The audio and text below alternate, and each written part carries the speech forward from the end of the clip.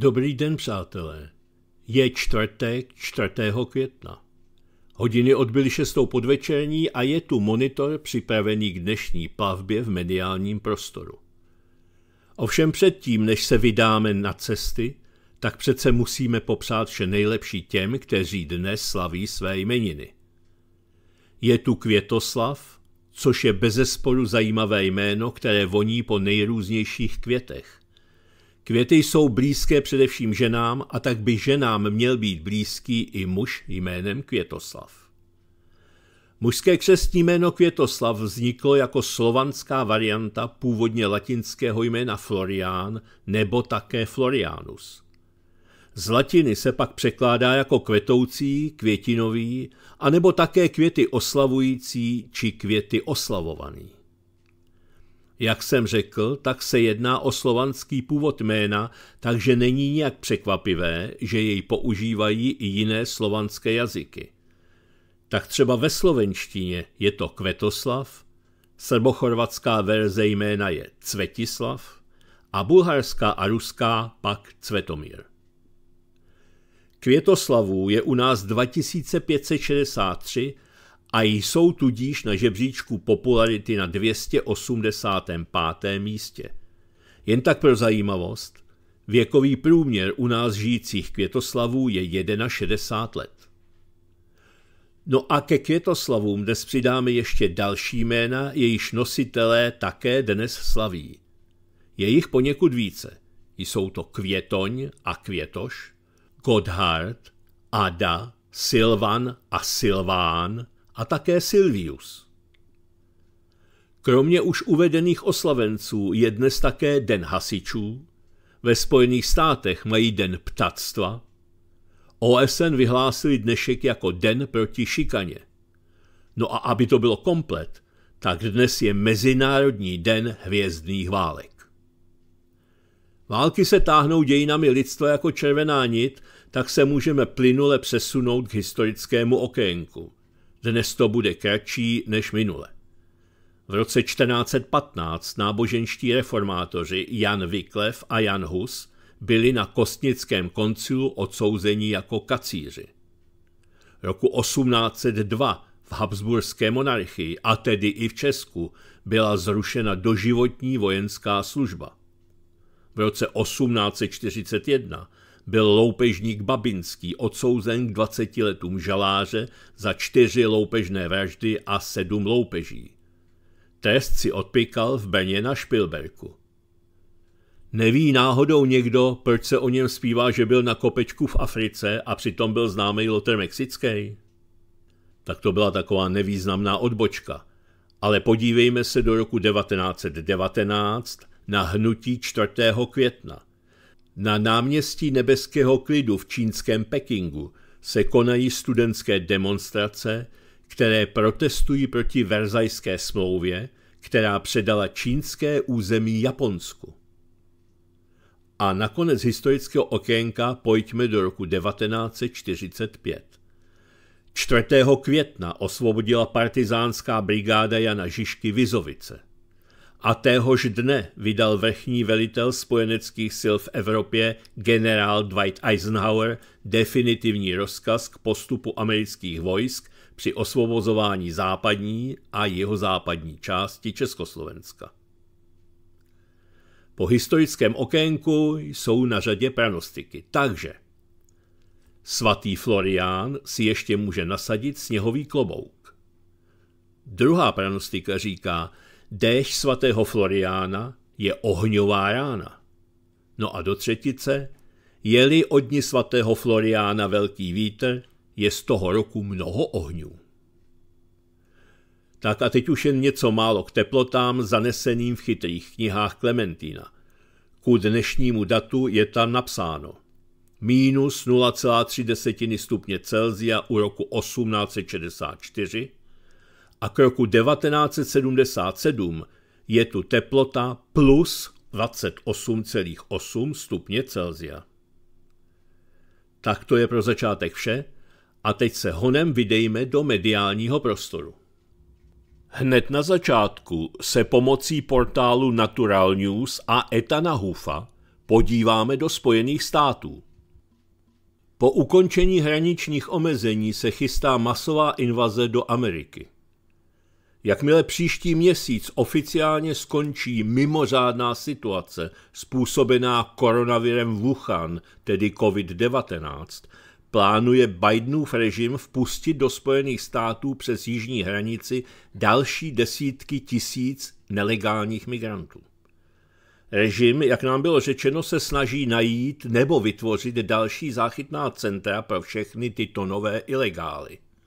Pracuje také na zvýšení kapacity pro zpracování nelegálních migrantů v zahraničí, například v Evropě.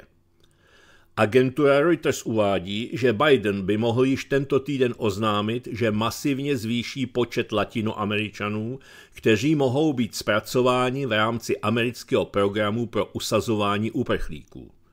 Američtí představitelé tvrdí, že plánují rozšířit kapacitu pro zadržování migrantů na hranicích a zároveň pilotně zavést nový program, který by pomohl rychleji zpracovávat asilové kontroly varpovou rychlostí. Tady si dovolím přidat malé vysvětlení výrazu varpovou rychlostí. Varpové pole je také známé jako subprostorové pole, které ohýbá vesmír okolo lodi, což jí umožňuje v uvozovkách jízdu na distorzi, to je zakřivení, a tím cestování rychleji než rychlostí světla. Takže si dovedete jistě představit, jakou rychlostí se mají ty asilové kontroly provádět. Jakmile COVID oficiálně skončí, americké hranice se otevřou do kořán pro kohokoliv, kdo chce vstoupit nelegálně. Jedna z možných variant, o které se hovoří, ale zatím nebyla oficiálně oznámena, zahrnuje odbavování migrantům prostřednictví vojenské základny Fort Bliss, která se nachází poblíž texaského El Pasa na jižní hranici. Fort Bliss byla dříve využívána k umístění tisíců v uvozovkách nezletilých bez doprovodu, tedy dětí nelegálních cizinců v roce 2021. Právě odtud se objevily všechny ty zprávy o přeplněnosti a nehygienických podmínkách.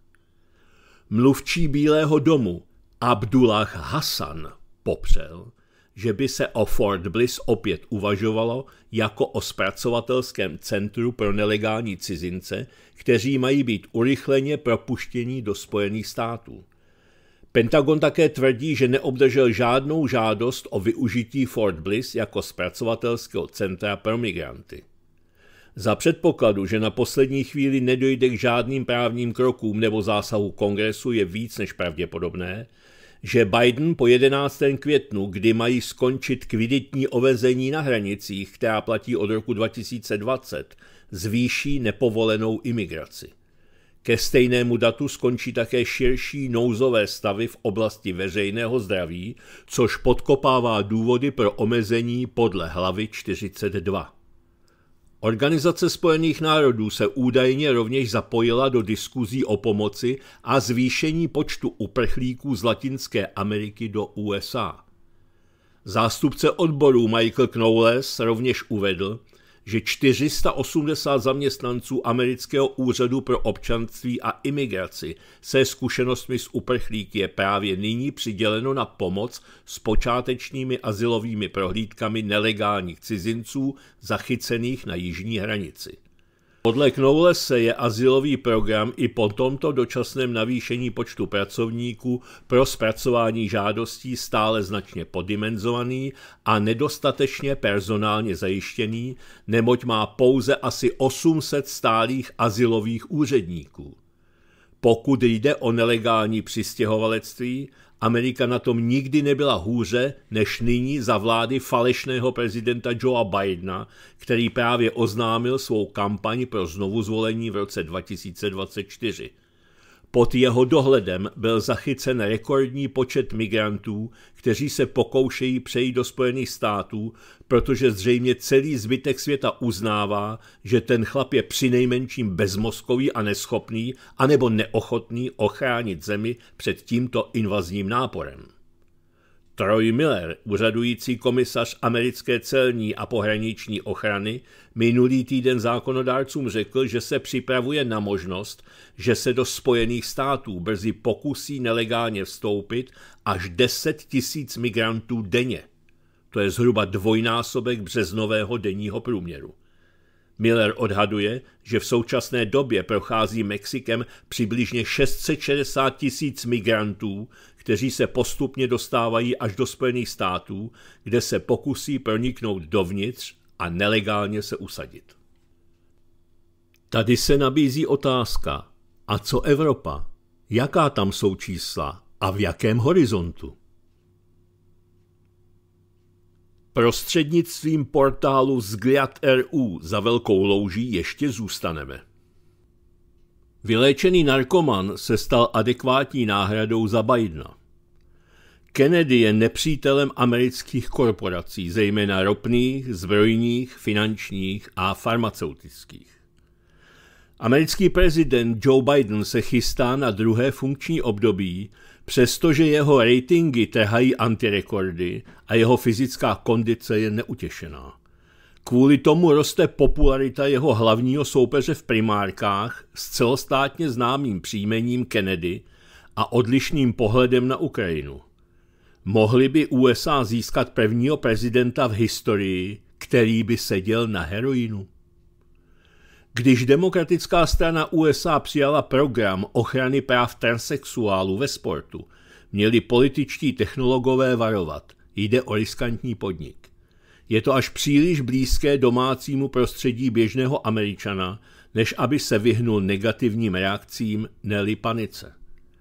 Zdá se, že například touha biologických mužů soutěžit v ženských týmech, národních týmech a na akcích na základě toho, že se považují za ženy, je něco spíše výjimečného a exotického, co by mělo americkou buržoazii znepokojovat. Ve skutečnosti však tne do živého. Američané jsou sportovní národ, jen sportovní přenosy přečí sledovanost pořadu Takra Carlsona, kterému se mimochodem obhajova práv transexuálů v uvozovkách samozřejmě agresivně neblíží a každý milující rodič touží dostat své dítě do nějakého oddílu. Pro ty, kteří pocházejí z chudých rodin, je to často jediná cesta, jak se vůbec dostat na dobrou vysokou školu, která je na lovu nejen intelektuálů, ale i sportovců pro univerzitní týmy. Na některých vysokých školách stačí, když se identifikujete jako žena, abyste mohli používat dámské šatny. Znásilnění už to bylo dříve. Takže tento druh ochrany práv se kategoricky nelíbí polovině voličů demokratické strany a tradičně loajální k menšinám. Nová etika je jedna věc, jejich vlastní děti jsou věc druhá.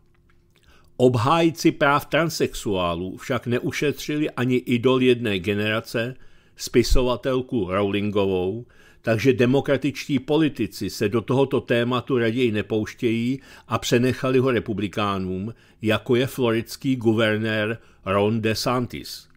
Nyní však mají světlou výjimku. Roberta Kennedyho mladšího. Zhruba před měsícem kandidoval a nyní je hlavním soupeřem současného prezidenta Joea Bidena v boji o stranickou nominaci. Hlavním soupeřem může být i nadále – Kennedy Jr. má mezi demokraty podporu přesahující 20%, což není zanedbatelné. A pokud bude mít velké štěstí, mohl by současného prezidenta dokonce vyřadit ze hry. Ve Spojených státech se něco takového stává jen zřídka a naposledy se něco takového nepodařilo nikomu jinému než kandidátovu otci Robertu Kennedymu staršímu. Když byl jeho starší bratr John Fitzgerald Kennedy zvolen prezidentem, stal se Robert generálním prokurátorem Spojených států. Jako jeden z mála zachránil planetu před jadernou válkou. Bob Kennedy vyjednával za Spojené státy při neformálních konzultacích se sovětským velvyslancem Anatoliem Dobrininem během kubánské krize. Po atentátu na prezidenta Kennedyho převzal vládu nad zemí viceprezident Lyndon Johnson – kterého oba bratři nemohli vystát. Byl v jejich týmu, aby získal hlasy Jižanů. Přesto Johnson vyhrál volby pod heslem pokračování Kennedyho odkazu a provedl mnoho reform, které zavražděný prezident teprve začal řešit. Na pozadí různých protestů, především protiválečných a rasových, však nebyl znovu zvolen, v primárkách vykázal špatné výsledky a z voleb odstoupil, aby je neprohrál s Robertem Kennedym. V roce 1968 se měl stát prezidentem Spojených států, ale byl na něj, stejně jako na jeho bratra, spáchán atentát. Kennedy Jr. nespochybňuje oficiální verzi smrti svého otce rukou palestinských teroristů, ale nevěří ani oficiální verzi vraždy svého strýce. Je malým konspiračním teoretikem a jeho konspirační teorie jsou většinou namířeny proti americkým korporacím, především ropným, zbrojním, finančním a farmaceutickým, tedy těm, které mnozí američané upřímně nenávidí. Svým populismem a šaškovstvím se poněkud podobá Donaldu Trumpovi, v některých otázkách jsou jaksi přirozenými politickými antagonisty, zcela stejnými. Kennedy však ve volbách v letech 2008 a 2016 podporoval Clintonovou a pro demokratie obecně svůj, patří k jejich elitě už od narození. Poté, co Kennedy ve 14 letech přišel o otce, byl následující rok vyhozen ze školy za chuligánství a drogy. Poté, jak bylo v rodině obvyklé, získal brilantní vzdělání a nastoupil do státní zprávy, odkud odešel rovněž kvůli drogám. Kennedy junior byl odsouzen za držení heroinu a odpracoval tisíce hodin veřejně prospěšných prací. Po 30 letech se však věnoval této věci a stal se úspěšným právníkem, který se profiluje v oblasti ochrany životního prostředí. Tehdy se jeho největším nepřítelem staly nadnárodní ropné společnosti. Ke cti rehabilitovaného feťáka budíž řečeno, že vypil spoustu jejich krve, což ho v očích rodiny a společnosti rehabilitovalo. Stal se rytířem, za kterého byli považováni starší Kennedyové. Pomáhat obyčejným rybářům z řeky Hudson v jejich boji proti cynickým penězovodům je ve Spojených státech ušlechtilé povolání.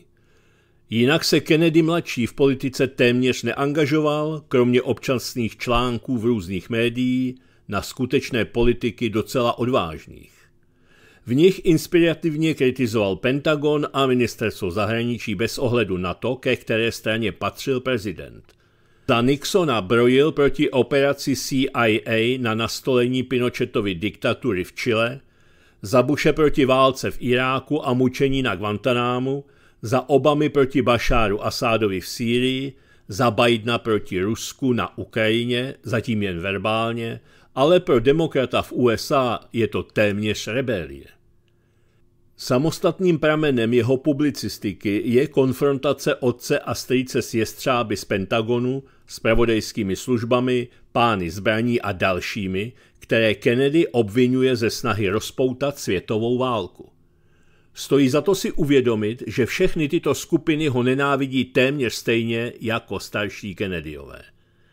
Ke Kennedyho nepřátelům se během pandemie přidala i farmacie a američtí zdravotníci – stal se nejen odpůrcem restriktivních opatření, což bylo víceméně typické alespoň pro republikána, ale také mluvčím nejrůznějších konspiračních teorií s refrénem v žádném případě neočkovat. A to natolik, že další významní členové klanu Kennedyů napsali otevřený dopis, jehož podstatou bylo, že Bobby je sice skvělý člověk a ekoaktivista, ale jako by se zbláznil. Nyní, když už problém s koronavirem odezněl a Kennedyho konflikt s vědou vyprchal, už nevypadá jako blázen, když mluví o Ukrajině nebo transexuálech ve sportu. Právě naopak. Při pohledu na superzisky energetických společností a dlouhé úvěrové linky obchodníků se zbraněmi jsou američané schopni předpokládat, že Kennedy junior patří mezi demokraty k těm nejrozumnějším a že o zbrojní lobby mluvil po celá léta většinou pravdu. Proto má skutečně šanci vytlačit Bidena a stát se kandidátem demokratické strany na prezidenta. Většinou ani ne z toho důvodu, ale protože Biden je Biden. Gallup zaznamenal nový rekord v antipopularitě. Pouze 37% Američanů schvaluje prezidentů v pracovní výkon. Kromě toho žádný perspektivní třetí kandidát prostě není a pravděpodobně ani nikdy nebude. Jisté je, že Kennedy ho nyní bude kamenovat nejen Bidenův tým, ale i aparát demokratické strany. Čestné rodinné jméno ho neochrání, čeká ho mnoho historek o černé ovci velké rodiny, nedotknutelném feťákovi a fantastovi škodícím celé zemi. Kennedy junior si nadělal příliš mnoho nepřátel mezi nejnebezpečnějšími a nejvlivnějšími osobnostmi své země, kde mnozí znají pojem Kennedyho prokletí. Většina jej chápe jako cosi mystického, ale nabízí se i jiný výklad.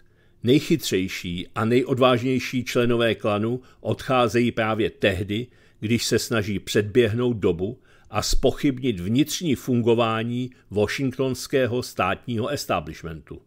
Skutečné prokletí Ameriky. Pojďme dál. Mám tu zajímavou úvahu Sergeje Bělova, otištěnou na alternativo.org. Zářná budoucnost s fatálním koncem. Je to děsivé, ale tři desetiletí ukrajinské nezávislosti utekla jako jeden bezvýznamný den. Zvlášť patrné je to, když si do vyhledávače zadáte slovo Majdan a projdete tisíce fotografií z veřejných oslav, na nichž někteří aktivisté v jakémsi narkotickém opojení nadávají na minulost, pohoršují se nad přítomností a radují se v očekávání neznámé budoucnosti, která se jim zdá být světlá. Nemají prostě na vybranou. Nemohou nevěřit v lepší budoucnost, jinak by se museli jít oběsit. A tato světlá budoucnost přišla k obyvatelům Ukrajiny v roce 2022 v podobě ruské speciální vojenské operace na demilitarizaci a denacifikaci Ukrajiny. A naši svobodomyslní slovanští bratři neměli čas na Majdany, neměli čas na rozhořčení nad zroucenou ekonomikou, skorumpovanou vládou a vlastní chudobou. Objevil se důvod, který vše vysvětluje a ospravedlňuje. Putin zákeřně zaútočil na bezbranou, míru milovnou a prosperující Ukrajinu. Zaútočil na ní jednoduše proto, že Rusové nemohli dopustit, aby se Nazalajsko po odtržení od azijského a barbarského Ruska stalo bohatým a šťastným evropským státem. Taková podivná fantazie proti realitě. Ale Bůh s nimi, nebo v pekle. V průběhu let nezávislosti vytvořila ukrajinská představivost hory těch nejoptimističtějších předpovědí budoucnosti. Všechny jsou dnes zapomenuty. Kdo si vzpomene na program Viktora Juščenka 10 kroků klidu, který zveřejnil během revolučních událostí v roce 2004? Kdo si vzpomene na strategii udržitelného rozvoje Ukrajina 2020, která vznikla z iniciativy prezidenta Petra Porošenka a kterou představil na podzim 2014? Volodymyr Zelenský a jeho tým šli ještě dál a v roce 2015 vytvořili místo nudného několika stránkového dokumentu celý seriál Služební klidu, který i obyvatelům za Alpí ukázal cestu ke světlé budoucnosti a kde jsou všechny tyto pořady nyní. Na stejném místě, kde se nyní nachází samotná Ukrajina. Jde o to, že ukrajinská elita žila, žije a bude žít podle známé zásady, hlavně zakokrhat a pak se rozední. Protože průměrný ukrajinský občan už má toho kouka reku dost. Nejsou spokojeni s tím, co mají, ale s tím, co jim bylo slíbeno. 30 let Ukrajina čeká na slibovanou světlou budoucnost. Chudne, vymírá a emigruje. Nyní na ní čekají ve zničené zemi na hrobech svých mrtvých příbuzných, přátel a známých. Bylo to špatné a pak to bylo ještě mnohem horší a nyní Ukrajina vypadá jako obrovský hřbitov, ale to nebrání jejímu zbývajícímu obyvatelstvu věřit ve slibovanou světlou budoucnost. A to není klam. Je to podivná touha po sebeklamu se smrtícím výsledkem. Naši bratři Ukrajinci kdysi věřili, že mezi Ruskem a Ukrajinou není velký rozdíl. Podle nich měli Rusové jen štěstí na uhlovodíky, ale jinak je Rusko stejná postsovětská republika se skorumpovaným autoritářským režimem, kde vše řídí oligarchové. Nebudu ani argumentovat tímto nesmyslem a vysvětlovat, proč tomu tak není. Jen připomenu, že už na počátku nultých let mělo ruské vedení programy rozvoje energetiky, strojírenství, loďařství, leteckého průmyslu, potravinové bezpečnosti Ruské federace, domácího cestovního ruchu a mnoha dalších, včetně vojensko-průmyslového komplexu. A všechny tyto programy byly realizovány v pracovním režimu, bez vznešených slibů a příliš hlasitých projevů vysokých tribun o dosažených úspěších. Je pravděpodobné, že nebýt událostí v roce 2014 a následných západních sankcí, mnohé úspěchy ruské ekonomiky bychom stále ignorovali a považovali je za samozřejmost. Tehdy se náhle ukázalo, že Rusko není kriticky závislé na základních průmyslových a potravinářských produktech. Navíc může některé své výrobky dodávat na zahraniční trhy i v rámci sankcí. To znamená, že sankce mu nebrání živit nejen sebe, ale i ostatní. Nemyslíte si, že ruské vedení je mnohem prozíravější, než jsme si dříve mysleli? Že ve střetu se Západem v roce 2014 Moskvu nic nepřekvapilo? Že Kreml pouze oddaloval začátek konfliktu na Ukrajině, aby v době, kdy se dostane do horké fáze, byl na vrcholu formy, zatímco protivník Ruska byl na ústupu? Mohl by to být důvod, proč úspěch ruské ekonomiky nebyl inzerován? Mohl to být důvod, proč prozatím nikdo nesáhl na opoziční politiky typu Alexeje Navalného, který byl na západě vnímán jako věrohodná alternativa k Vladimíru Putinovi. Mohlo to být důvodem, proč v Rusku až do zahájení speciální operace existovala média, která de facto pracovala pro spravodajské služby zahraničních speciálních služeb. Mohly to být zvěsti o kremelských věžích, z níž jedna údajně sní o návratu země do oligarchického chaosu 90. let, které byly replikovány, aby vytvořili iluzi slabosti ruské státnosti. Západní politici se nyní pišní tím, že Putinovi lhali o plnění minských dohod – Pukají píchou, že ani Ukrajina, ani Západ nehodlali vyjednávat o míru, ale pouze se připravovali na vítěznou válku. Ale nemyslíte si teď, že naivita ruského prezidenta byla jen iluzí? Není nyní jasné, že jejich klamání zahnalo Evropu a USA do slepé uličky a přivedlo Ukrajinu na pokraj smrti? A kdo tedy koho podvedl? Podvedli sami sebe. A Putin tomu všemu jen přihlížel a nezasahoval. Proč bránit agresivnímu a sebestřednému oligofrenikovi, aby se zabil? Dnes je zcela zřejmé, že konflikt na Ukrajině měl být katalyzátorem destruktivních procesů v Rusku, kdy v důsledku sankcí uvalených Západem dojde ke zhroucení ruské ekonomiky, zhoršení sociální a politické situace a nahrazení současné vlády vládou pro západních kompradorů a všichni ti šmejdi, kteří se po léta považovali za rozum, čest a svědomí liberálního Ruska a kteří utekli ze země, jakmile začala speciální operace, si mysleli, že se do Ruska za pár měsíců vrátí na bílém koni. Nevyšlo to. Často si vzpomínám na větu připisovanou ruskému polnímu maršálovi generálu Krištofu Antonoviči Minichovi. Rusko je řízeno přímo pánem Bohem – Jinak si nelze představit, jak tento stát ještě existuje. Tato věta je nejen krásná, ale také aktuální dodnes, protože jedině Bůh je schopen zinscenovat toto představení, v němž tisíce hráčů, z níž každý stojí proti Rusku, ve skutečnosti hrají v jeho zájmu. Co by to bylo za idiota, kdyby se při hodnocení Ruska řídil závěry ruské opozice – Přitom pro obyvatele Ukrajiny, stejně jako pro celý v uvozovkách civilizovaný západ, byl nejobjektivnějším hodnotitelem ruských reálí Alexej Navalny, který už léta mluví o skorumpovanosti ruského vedení, o degradaci ruské ekonomiky a neustále naráží na možnost změny režimu prostřednictvím barevné revoluce. O co se jeho úvahy opíraly? Touha po grantech od západních sponzorů? Jedinou potíží západu je, že informace, které Navalny prezentoval, neměly nic společného s realitou. A nyní tato postava padá pod článkem zrada vlasti. Ovoce by se mělo trhat, až když je zralé. A on zralý je. A nyní mu hrozí doživotní trest. Kdysi jsem zaslechl od historika Konstantina Zaleského, který se specializuje na Německo, zajímavou domněnku, že osudovou chybou Adolfa Hitlera byl jeho klinický antisemitismus.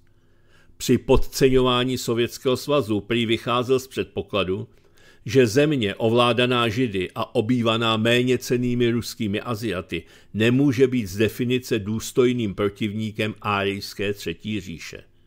Nevím jak Hitler, ale mně se zdá, že pohrdavý postoj k Rusku a Rusům spolu s vyzdvihováním předností západní civilizace sehrál svou osudovou roli při krachu dalšího západního projektu Drang nach Osten.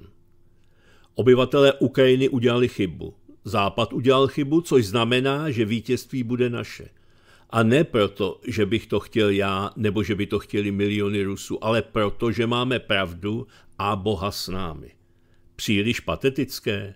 Ale pak se podívejte na západ. Tam už dávno vládne Satan.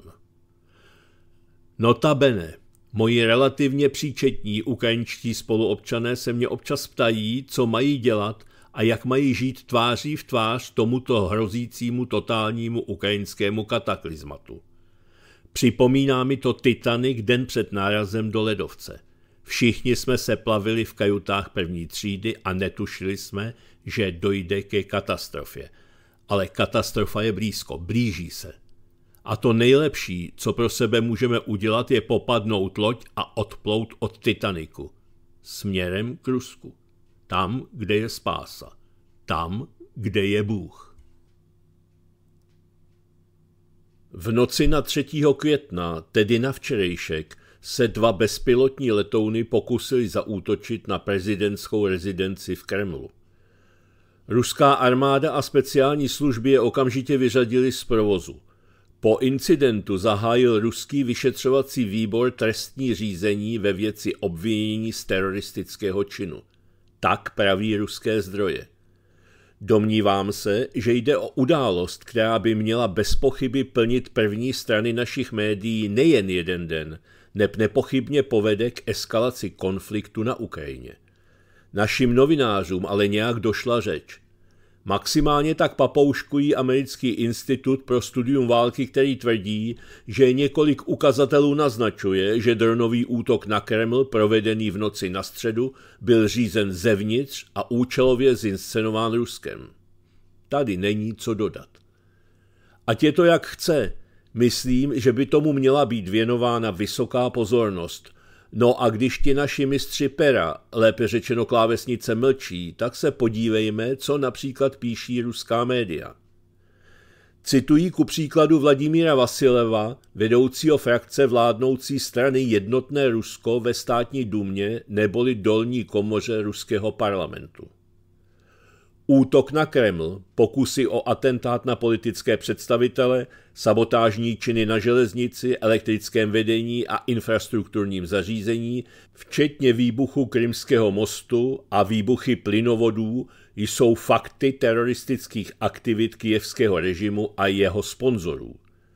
Dnes terorismus opět zvedl hlavu a míří na samotné srdce Ruska – Útoky namířené proti prezidentovi jsou namířeny proti každému z nás. K jejich zmaření je zapotřebí maximální konzolidace, ostražitost, spolupráce s orgány činnými v trestním řízení a speciálními službami. A nejdůležitější je pochopení, že všichni musíme bránit vlast a prezidenta. Zdůraznil. A teď přidám prohlášení ruského velvyslance ve Spojených státech Anatolie Antonova, tak jak jej dnes ráno otiskla anglická mutace agentury TAS. Rusko odpoví na teroristický čin Ukrajiny v podobě pokusu o útok dronem na Kreml, až to bude považovat za nutné, uvedl ve středu ruský velvyslanec ve Spojených státech Anatolij Antonov. Jak by američané reagovali, kdyby dron zasáhl Bílý dům, Capitol nebo Pentagon? Odpověď je zřejmá jak pro každého politika, tak pro běžného občana. Trest by byl tvrdý a nevyhnutelný, řekl. Rusko na tento drzý a opovážlivý teroristický útok odpoví. Odpovíme, až to budeme považovat za nutné. Odpovíme v souladu s hodnocením hrozby, kterou Kijev představoval pro vedení naší země. Zdůraznil, že prohlášení amerických představitelů jsou zarážející svým cynismem a absurditou. USA nepovažovali za možné uznat to, co je zřejmé, šlo o teroristickou akci plánovanou zelenského režimem a o pokus o atentát namířený proti prezidentovi Ruské federace. Navíc načasování nebylo zvoleno náhodou. Před dnem vítězství a přehlídkou 9. května kde se podle plánů mají zúčastnit zahraniční hosté, uvedl Antonov. Teze, že tento teroristický čin byl údajně operací pod falešnou vlajkou, jsou rouhavé a lživé. To znamená, že údajně to bylo samo Rusko, kdo zinscenoval provokaci proti srdci naší státnosti, dodal Antonov. Podle ruského diplomata Moskva doufá, že americká administrativa bude mít odvahu a důstojnost tento teroristický čin odsoudit. Svět si pamatuje, jak v roce 2001 ruský prezident jako první podal pomocnou ruku americkému lidu, který byl tehdy vystaven teroristickému útoku. Vše je zapomenuto. Dnes Spojené státy chrání kijevské zločince – Prohlášení vysokých představitelů, že Kijev si může vybrat, jak se bude bránit, jsou učebnicovým příkladem dvojího metru politiky povzbuzování zelenského režimu k útoku na Ruskou federaci. Slova úředníků o tom, že údajně odrazují kijevský nacistický režim od úderů na cíle za jeho hranicemi, jsou falešnou fraškou, řekl. Zvěrstva zelenského režimu a schovývavost západu k němu svědčí jen o tom, že naši protivníci nemají žádnou touhu usilovat o mír, o záchranu tisíců životů obyčejných Ukrajinců. Rozhodně tuto okolnost zohledníme při vypracovávání strategie realizace cílů a úkolů speciální vojenské operace, upozornil. V noci na 3. května se Ukrajina pokusila pomocí dvou bezpilotních letounů zaútočit na kremelskou rezidenci ruského prezidenta Vladimíra Putina, informovala tisková služba Kremlu. Ruská armáda a speciální služby drony okamžitě zneškodnily. Putin nebyl zraněn a pokračoval v běžné práci. Kreml uvedl, že to považuje za plánovaný teroristický útok a pokus o atentát na ruského prezidenta. Rusko si vyhrazuje právo na odvetu v pravou chvíli a způsobem, který uzná za vhodný, dodal. Teď už pojďme domů a podívejme se očima defense na ty, co pomáhají a chrání. Jak přispěla akce Speed Marathon k bezpečnosti na silnicích? Mimochodem, nepřipadá vám to divné? Neustále slyšíme, že je málo policistů, proto je třeba vyplácet jim statisícové náborové příspěvky a obcházet zákony ohledně jejich minimálního požadovaného vzdělání, kdy se maturita dodělá v zařízeních ministerstva vnitra. A pak se ukáže, že policie má kapacity na takhle rozsáhlou represivní kampaň. To rozhodně stojí za povšimnutí. Do letošní akce Speed Marathon se zapojilo 700 policistů a zkontrolovali celkem 5226 vozidel. Kdo vybral ta místa pro měření rychlosti?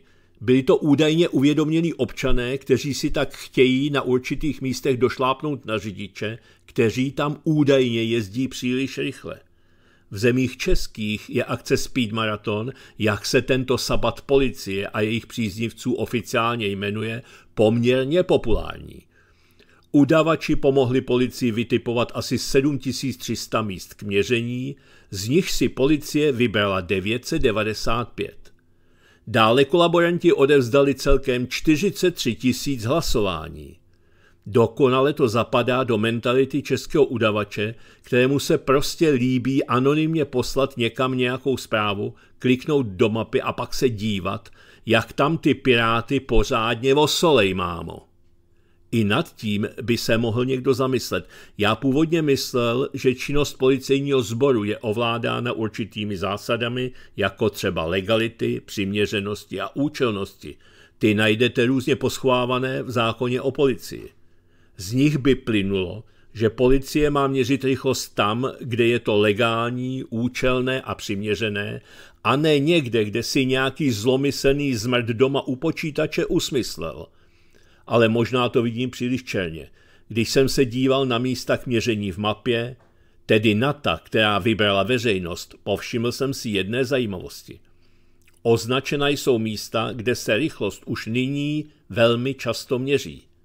Zapojení občanů asi nebude tak docela spontánní, nejspíš si ta místa vymyslela policie sama. Ačkoliv pořadatelé uvádějí, že jedná se nám o problémová místa, kde řidič jezdí rychleji, než je na těchto místech bezpečné, například u škol, nepřehledných místech a podobně. Z náhodně vybraných asi 15 míst českých Budějovicích nebylo u školy ani jedno. Asi nějaký policejní test, do jaké míry lze ještě oblbovat veřejnost. Média neopomněla informovat o výsledcích akce, přičemž se většinou soustředila na počty zjištěných přestupků. Policisté zjistili během 24 hodin celkem 2774 dopravních přestupků, z čehož 2146 případů bylo porušení stanovených rychlostních limitů. Policisté na místě projednali 1996 přestupků týkajících se takzvaně porušení rychlosti v hodnotě téměř 1,4 milionů korun. Vysočině se podařilo vybrat celých 150 pokut. Na Příbramsku celých 13. Na první pohled to vypadá jako fascinující čísla, ale když se nad tím zamyslíte, tak teda nic moc. Jeden nasazený policista zjistil za celý den průměrně čtyři přestupky. Na základě uvedeného bude asi docela zatěžko přesvědčovat veřejnost, že všichni jezdí jako blázni. Při veškerých těch oslavných vyjádření devotních médií o úspěších policie při potírání silničních pirátů se ovšem někam vytratil smysl celé akce, kterým byla bezpečnost silničního provozu – Zvýšila se akcí Speed Marathon a odhalením 2800 přestupků nějak bezpečnost nás všech. Podívejme se. Dne 21.4., tedy v den konání oné akce, se stalo celkem 283 dopravních nehod, při kterých bylo 74 osob zraněno a 4 lidé zemřeli. V kontextu celého dubna se jednalo nepochybně o jeden z horších dnů, pokud jde o počet nehod i jejich následky. Počet usmrcených účastníků nehod za den je nejvyšší za celý měsíc, spolu s pátkem 14. dubna. Pátek je z hlediska silničního provozu významným dnem, protože lidé cestují domů z práce nebo na víkend. Pokud porovnáme pátek 21.4. s jinými dubnovými pátky, vychází den speed maratonu jako průměrný či lehce nadprůměrný, pokud jde o počet nehod a jednoznačně nadprůměrný, pokud jde o jejich následky. Kdybych chtěl dopravně bezpečnostní činnost policie hodnotit konzervativně, musel bych napsat, že to nemělo vliv vůbec na nic. Pokud bych chtěl hodnotit aktivisticky, pak ten jejich speed maraton vyšel zcela kontraproduktivní. Proč ty tisíce odhalených a potrestaných přestupků pozitivně neovlivnili bezpečnostní parametry provozu na silnicích? Protože jsou to všechno pseudopřestupky. Formálně je to porušení nějakého zákazu, jednání, o kterém někdo řekl, že je nebezpečné, ale ve skutečnosti nikomu nebezpečné není. Není mi jasné, jak má snížit riziko, když chytnu nějakého chudáka, protože jel o pět kilometrů rychleji. Nebezpečná jsou úplně jiná jednání, jenže ta nejde tak snadno, pohodlně a automatizovaně odhalovat. Stejně tak přítomnost stovek policistů nijak nepřispívá k zvýšení bezpečnosti, zatímco zvyšuje nervozitu a způsobuje problémy v provozu. Takže doufejme, že naše silnice zůstanou alespoň natolik bezpečné, jak jsou, a policie nás dalších svých dementních monster akcí ušetří. Dále je připraven i nadhled live. Začátkem května si připomínáme osvobození od nacistů. Přestože se liberálové snaží seč mohou, rádi by přepsali historii a nechali by nás osvobodit americkou armádou, průběh a konec druhé světové války změnit jinak, než na papíru prostě nedokážou. Demarkační linie procházející Plzní je neoddiskutovatelným faktem a bombardování západočeské metropole i Prahy Američany neomluvitelnou realitou a vstyčení sovětské vlajky nad řížským sněmem v Berlíně mnohokrát zveřejněnou a kvalitně zdokumentovanou skutečností. Sovětský svaz si prošel za druhé světové války peklem. 20 milionů padlých v boji s nacistickým Německem je samo o sobě dostatečným mementem, o kterém nelze polemizovat. Němci v té době využívající veškeré středoevropské možnosti průmyslu pro výrobu vlastního zbrojního arzenálu přecenili své schopnosti a zapomněli, že o vyhlazení Slovanů se marně pokoušelo už mnohem více jejich germánských předků. Sveřepost především Rusů překonala všechny představy a Wehrmacht byl nejen před Moskvou zastaven, ale v zápětí vytlačen a na hlavu poražen.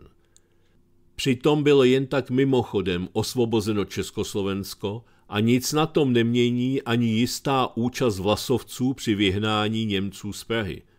Bez obrovské ofenzívy rudé armády bojující jak proti německým fašistům, tak i mnoha kolaborantům s hitlerovským režimem by nikdy Němci ze svého záměru zabrat celou Evropu neustoupili. Přeneseme-li se o pár desítek let dále, německá roztahovačnost je zpět a její projev v podobě nadvlády nad naším systémem v rámci EU je zjevná – Rozdíl mezi obdobím před druhou světovou válkou a nynější dobou je v podřízenosti Německa spojeným státům. Díky přerozdělení moci po tehdejší porážce nacismu zůstala většina Německa a západní Evropy pod jednoznačným vlivem Spojených států, zatímco Rusové po letech v celku naivně opustili postupně nejen část svých bývalých svazových republik, ale i ta území, která jim sice nepatřila, ale byli částečně pod jejich správcovstvím a politickým vedením. Toho i hned Západ a Američané využili a bleskově převzali moc nejen nad Polskem a zbytkem Německa, ale i nad Prahou a Pobaltím. Pokusili se o to samé i v Bělorusku a na Ukrajině. Zatímco v Bělorusku tvrdě narazili na Lukašenka a nepomohl jim ani pokus o puč, Majdan na Ukrajině, stojící v důsledku desítky tisíc lidských životů, znamenal průnik na území donedávna pro Američany nedostupné. Navíc se historicky v této zemi existující a bující nacismus stal odrazovým můstkem k nenávisti vůči rusky hovořícímu a k Rusku se hlásícímu obyvatelstvu – Zvěrstva v podobě upálení lidí zaživa v Oděse či terorizování obyvatel Donbasu příslušícím národností k Rusům už přesáhlo hranice trpělivosti i tak tolerantního státníka, jakým se Putin jevil být. Následkem toho došlo k zpětpřetí si Krymu se strategicky výhodně položeným přístavem Sevastopol a ke speciální vojenské operaci potřebné k ochraně Rusů žijících na východu Ukrajiny – při této akci byly zlikvidovány body amerického zájmu, biolaboratoře, narušen trh s dětmi a lidskými orgány a momentálně i obchod s některými komoditami, včetně závadné pšenice. Pokračuje opětovná denacifikace blízkého okolí Ruska a zároveň se Moskva snaží se svými partnery vytlačit z řady obchodů americký dolar, což se jí s úspěchem daří.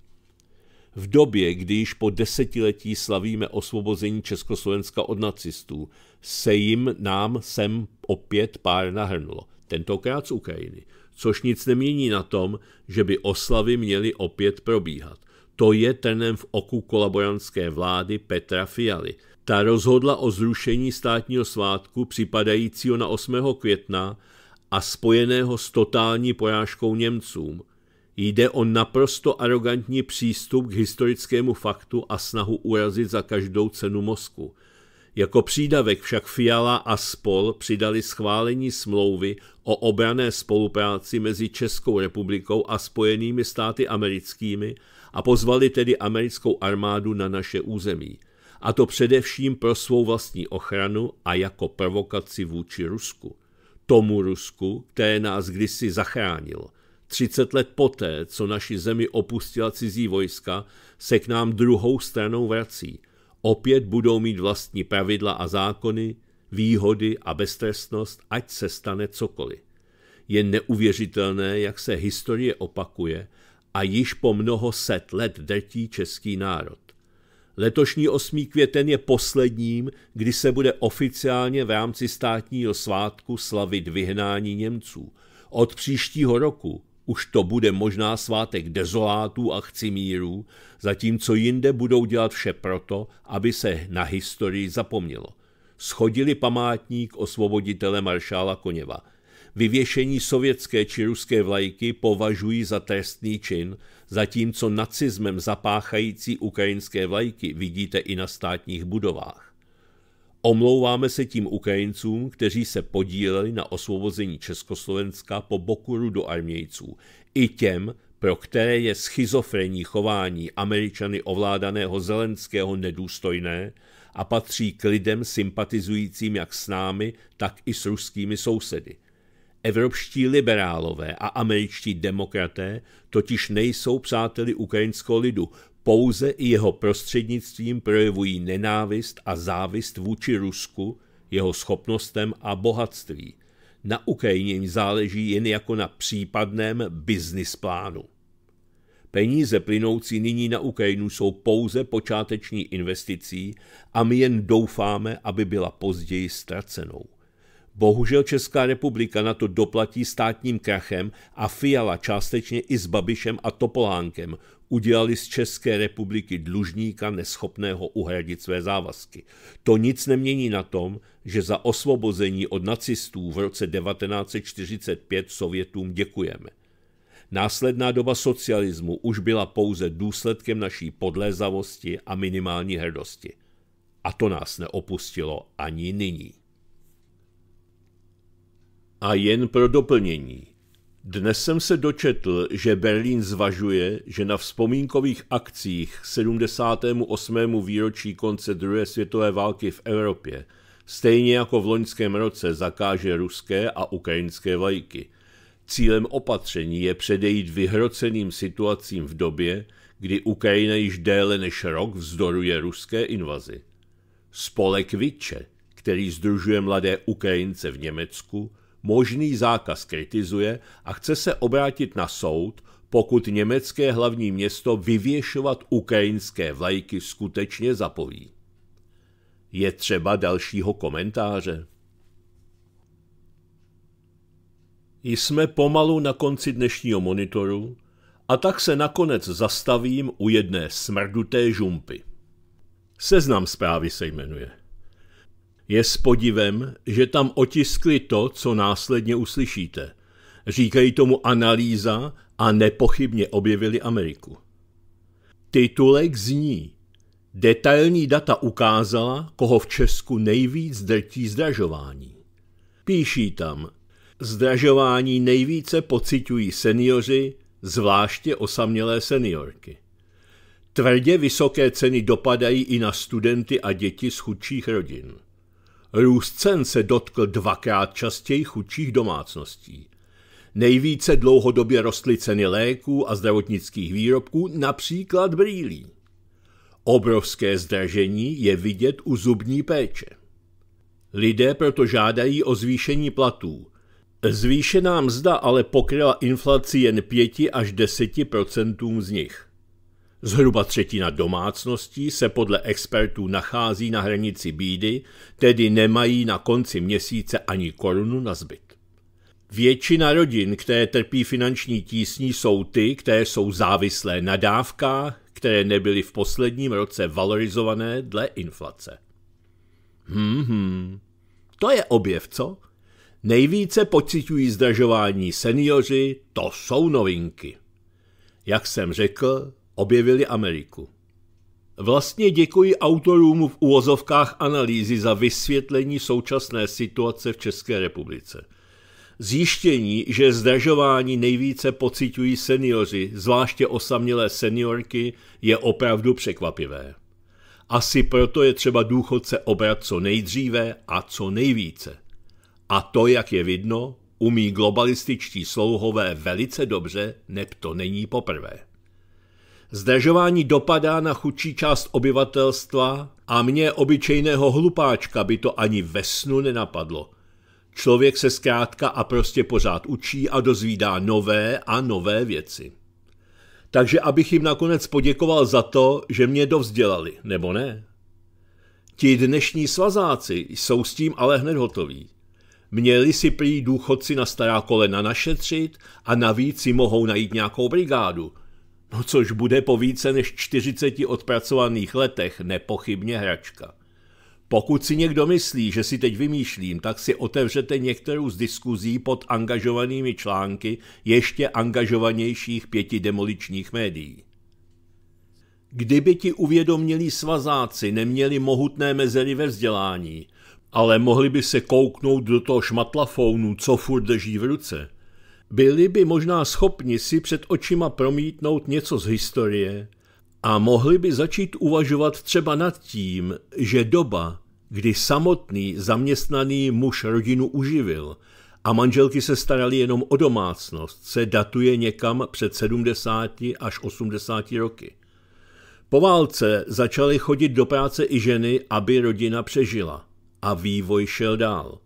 S postupem času, už v dobách socialismu, byly prakticky zaměstnány všechny ženy a každý slušný chlap měl minimálně dvě zaměstnání. Zkrátka dobře, samotný muž už prostě rodinu na rozdíl od minulosti neuživil. No a teď, aby se to ještě vylepšilo, tak každý hurá do práce a cílem nejspíš je, aby si vydělali co nejméně a tím pádem, aby byl každý druhý odkázán na nějaké dávky. No připadá vám to normální? No ale možná někteří netrpí úplnou ztrátou obrazotvornosti a dokáží si představit, když mají to svinstvo před očima, do čeho stárnou. Nep jejich předky ani ve snu nenapadlo, do jakého sajrajtu zestárnou. A k tomuto spoření. Podívejme se na něj chronologicky. Ten, kdo za stařičkého mocnářství něco našetřil, o to přišel první světovou válkou a přechodem na Československo. Poté je všeho zbavila velká krize v 30. letech. A když se z toho lidi zpamatovali, přišla druhá světová válka. Následně je obrala ve 53. měnová reforma a potom prudká inflace okolo 68. roku. No a ti, co něco si našetřili za normalizace, o to přišli další prudkou inflací po 90. A tak jsme se postupně přesunuli až k dnešku. To, jakou inflaci způsobili dnešní moci páni, a tím nemyslím jen ty naše, ale i ty světové, jak jinak, vždyť dějiny se neustále opakují, o tom není třeba příliš přemýšlet. Ti, co si dodnes něco naspořili třeba na důchod, jen v posledních dvou letech z toho přišli o 20% a to není konec. Tak mi někdo vysvětlete, proč by měl člověk dlouhodobě spořit. No snad je to proto, aby mu mohli zase něco ukradnout. A půdu proto naše pěti demolice v čele se signalistou a zbrojmistrem na hradě svědomitě připravuje. Úplně nakonec tu mám pro vás jeden citát, jehož autorem je Michelangelo Buonarroti. Kdo bojuje s hlupáky, nemůže dosáhnout velkého vítězství. Teď už se od mikrofonu monitoru studia Kali Svobodného rádia loučí a na setkání v úterý se těší Ivan Votava. Naschledanou.